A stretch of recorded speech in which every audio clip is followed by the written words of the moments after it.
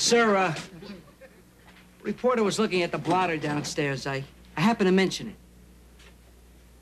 Levitt, anything that happens in this room is privileged information. Yes, sir. I apologize. I guess I was just, uh, thinking about the people's right to know. Well, that's certainly a uh, consideration. But in the future, should another cute story pop up, I'd appreciate it if you were a bit more circumspect. Understood? Sit on it, sir.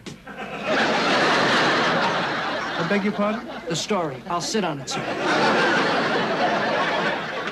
You do that.